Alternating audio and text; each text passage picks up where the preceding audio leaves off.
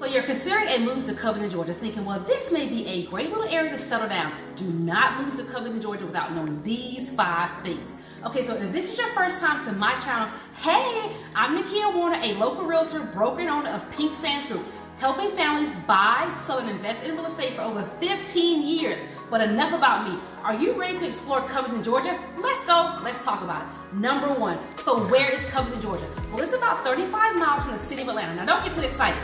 That may sound like, ooh, just a 35 minute drive. Not quite. If there's traffic, that can actually be a 45 minute to a whole hour drive. There's almost always traffic. Gotta love Atlanta traffic. Number two, what are the residents saying about Covington? So Covington has a population of over 15,000 people. It has always been said to have a small town feel. Well, that depends on who you ask. Many have felt that Covington's strong sense of community sets it apart from other areas. Residents, they take pride in their city and they actively participate in lots of community events such as festivals and the farmers markets. Now, some residents that have moved here from other areas, well, they say that they have met some great people here and there's a sense of community and they absolutely love it. But others have said that it's just becoming too crowded to them. However, it doesn't have as much, it doesn't have nearly as much traffic as when you're in McDonough, Georgia, trying to navigate I-75. Now, one person said, this once small town has been taken over by tourists.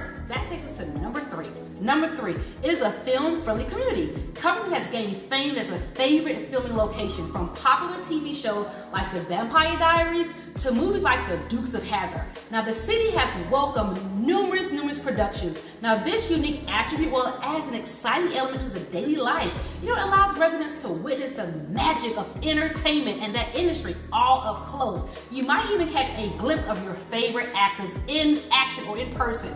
Or you may not like all that fuss and don't care about stars and care less about a celebrity or your traffic being diverted. Just depends on what you're looking for. It sounds pretty cool to me though. Number four, what can you get for your money in Covington? Well, let's just say I know of a new construction community that's building brand new homes starting at, wait for it, $315,000. Brand new homes. That's some amazing prices. Beat the crowds for the cute community and call me today to get you in the door. Oh, and those are all four bedrooms. I'm telling you, don't miss out on these Covington prices. You see, one of the most enticing aspects of Covington is its affordable cost of living. You know what else I notice about Covington? It's the amount of yard space you tend to get with your homes.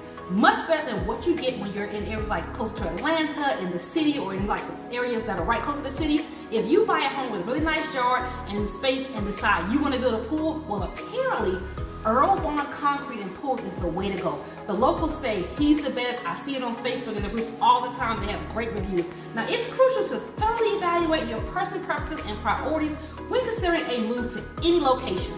Factors such as job prospects, lifestyle preferences, and access to amenities should be weighed against the advantages and the disadvantages of any particular place to ensure, you know, it aligns with you, your individual needs, and your family needs and aspirations. You definitely need to get the best realtor in your corner. Contact me today to start your journey. Happy shopping!